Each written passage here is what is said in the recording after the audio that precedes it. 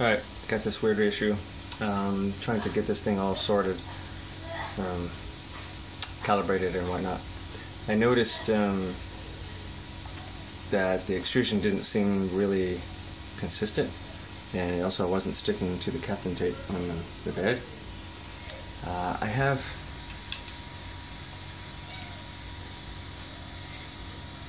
the um, extruder. I have some cleaner in it right now, cleaning filament. Uh, I have it. I have the, the extruder set to 200 degrees, uh, and what I'm doing is trying to clean out the ABS I had in, in there before. And I realized that when I tell it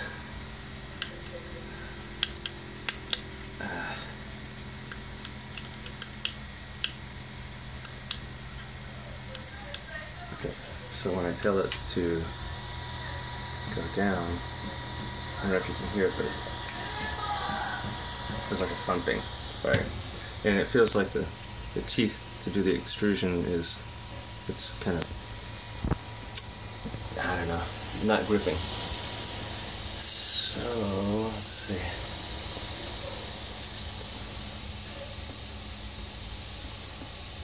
This lever here is to release the filament right you can press down on it and this is of in the way um,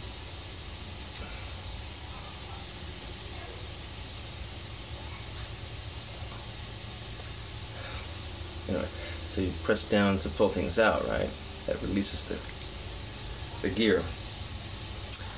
Well, if I do the extrusion like this, make it go down, and I press slightly down on this, I can find the sweet spot where the extrusion comes out quite nice and quick. Um, basically, like I think it's supposed to.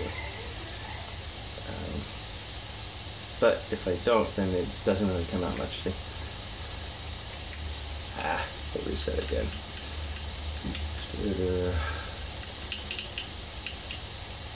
Extruder position. Okay.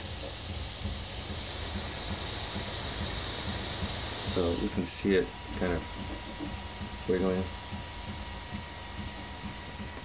I think. Yeah, it's like skipping, right? If there's a wave, and it's not really coming out.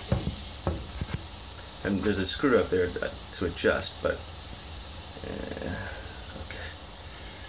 So now I'm gonna use the lever, find that sweet spot again, and you can see it's coming out pretty nicely.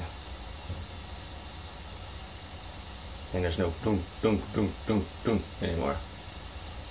And if I press it too much, it, it won't go at all either. If, and if I don't press it enough, you get the goop. See how press it the right amount, you can see the kunk, kunk, kunk. Press it some, and it comes out nice and smooth. So the question is, how do I align it so that this is how it comes out all the time? Yeah.